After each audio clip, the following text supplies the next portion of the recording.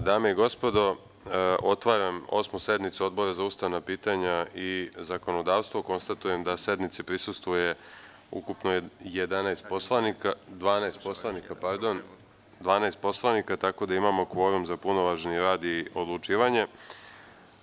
Takođe želim da kažem da sednici Odbora prisustvuju i gospoda Milan Dimitrijević iz Ministarstva unutrašnjih poslova, gospodin Milorad Todorović, takođe iz Ministarstva unutrašnjih poslova, sekretar Ministarstva i gospodin Igor Perić iz Ministarstva unutrašnjih poslova, šef Biroa za međunarodnu saradnju. Za današnju sednicu predlažem sledeći dnevni red usvajanje zapisnika sa četvrte, pete, šeste i sedme sednice Odbora, zatim da prva tačka dnevnog reda bude razmatranje Predloga zakona o izmenama i dopunama Zakona o porezu na dohodak građana koji je podnela Vlada, druga tačka razmatranje Predloga zakona o izmenama i dopunama Zakona o doprinosima za obavezno socijalno osiguranje koji je podnela Vlada, treća tačka razmatranje Predloga zakona o potvrđivanju Sporazuma o zajmu između Vlade Republike Srbije kao zajmoprimca i Vlade Emirata Abu Dabi Ujedinjeni Arapski Emirati kao zajmodavca u vezi sa zajmom u iznosu od milijardu američkih dolara koji je podnela Vlada, četvrta tačka razmatranje Predloga zakona o potvrđivanju ugovora o zajmu između Vlade Republike Srbije i Fonda za razvoj Abu Dabija za finansiranje razvoja sistema za navodnjavanje prva faza koju je podnela Vlada, peta tačka razmatranje Predloga zakona o potvrđivanju finansijskog ugovora aneks Apex zajam za mala i srednja preduzeća i druge prioritete između Republike Srbije i Evropske investicione banke i Narodne banke Srbije koji je podnela Vlada, šesta tačka razmatranje Predloga zakona o potvrđivanju sporazuma između Vlade Republike Srbije i Vlade Mongolije o ukidanju viza za državljane dveju zemalja koji je podnela Vlada, sedma tačka razmatranje Predloga zakona o potvrđivanju sporazuma između Vlade Republike Srbije i Vlade Narodne demokratske republike Laos o ukidanju viza za nosioce diplomatskih i službenih pasoša koji je podnela Vlada, osma tačka razmatranje Predloga zakona o potvrđivanju sporazuma između Republike Srbije i Crne Gore o uzajamnom zastupanju u pružanju konzularne zaštite i usluga u trećim zemljama koji je podnela Vlada, deveta tačka razmatranje Predloga zakona o potvrđivanju sporazuma o operativnoj strateškoj saradnji između Republike Srbije i Evropske policijske kancelarije koji je podnela Vlada, Deseta tačka razmatranje Predloga zakona o potvrđivanju amandmana na član 20 stav 1 Konvencije o eliminisanju svih oblika diskriminacije žena koji je podnela Vlada. Da li ima predloga za izmenu i dopunu dnevnog reda? Ukoliko nema, ko je za, odnosno, pardon, ko je za predloženi dnevni red? Zahvaljujem se. Da li ima neko protiv? Uzdržanih nema. Konstatujem da smo jednoglasno prihvatili predloženi dnevni red. Pre nego što, krećemo, pre nego što krenemo na rad po, po ovaj, tačkama dnevnog reda, da li se neko javlja za reč povodom zapisnika sa četvrte, pete, šeste i sedme sednice odbora?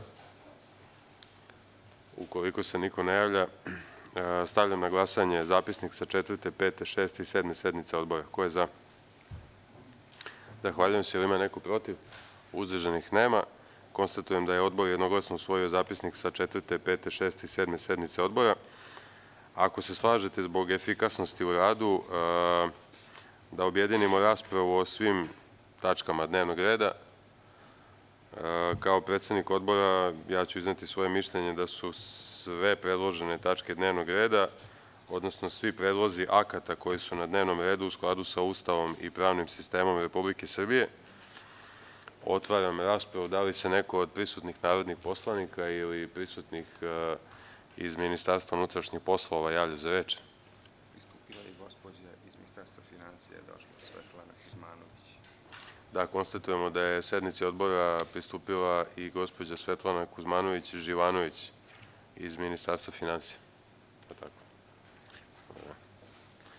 Evo, otvaram raspravu. Da li se neko javlja za reč?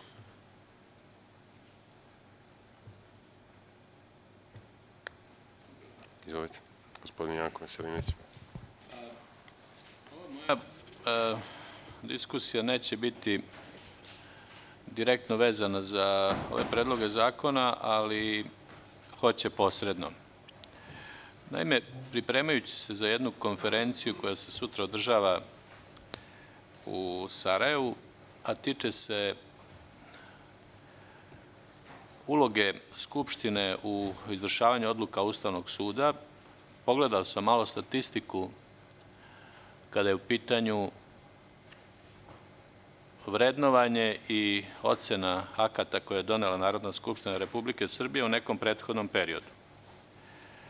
I zaključio da je određeni procenat, ja bih rekao značajan broj akata koji je prošao ovaj odbor, ne govorim o ljudima koji sada ovde sede, verovatno možda niko nije bio njih, proglašen neustavnim. I u tom smislu smatram da na nekoj narednih sednica ili tematskih ili bilo kako treba da se pozabavimo da vidimo da li možemo da učinimo nešto da u našem radu nešto promenimo. Jer kada jedna odluka bude proglašena neustavnom, to osim poslanika koji sede u sali i glasaju za nju, posebnu odgovornost stavlja i pred članove ovog odbora koji praktično preporučuju da je odluka u skladu sa Ustavom i u skladu sa zakonom. Da ne govorimo o efikasnosti Skupštine po pitanju sprovođenja, odnosno davanja mišljenja na odluke Ustavnog suda kada Ustavni sud traži od Skupštine. U tom smislu smatram i da svako objedinjavanje rasprava i svako olako prelaženje preko toga, ja govorim za ubuduće, stavlja pred nas posebnu odgovornost imajući u vidu ovu činjenicu. Hvala. Hvala gospodinu Veselinoviću na ovoj sugestiji. Ja moram samo da primetim, ako već govorimo o nekoj statistici i odlukama Ustavnog suda, moj utisak je da je Ustavni sud zaista jedan broj akata Narodne skupštine, pre svega zakona, odnosno akata koje je donela Narodna skupština proglasio neustavnim, ali da se to odnosi na period, čini mi se, pre 2012. godine, dakle i statut Vojvodine i zakon o nadležnostima autonome pokrajine Vojvodine i mnogo drugih zakona koji su doneti, za koje je tadašnja skupštinska većina tvrdila da su u skladu sa Ustavom i pravnim sistemom, a ispostavilo se da nisu. Ali slažem se sa vama da bi naravno i ovaj odbor trebao da Samo jedna povede računa. Predsjedniče, slažem se, dakle, apsolutno, ali to pokazuje, e, druga statistika pokazuje da je za odluku Ustavnog suda trebalo 4 do 5 godina. Dakle, za pojedine odluke e, da je trebalo 4 do 5 godina, tako da će tek neko vrednovati naš rad. Hvala. Dobro. Hvala gospodinu Veselinoviću. Da li se još neko javlja za reč? Ukoliko se niko ne javlja za reč, e, zaključujem onda raspravu i e, predlažem da odbor podnese izveštaj Narodnoj skupštini da su e, svi predloženi akti za ovu sednicu Narodne skupštine u skladu sa Ustavom i pravnim sistemom Republike Srbije. Ko je za? Zahvaljujem se. Je li ima neko protiv? Uzdržanih nema.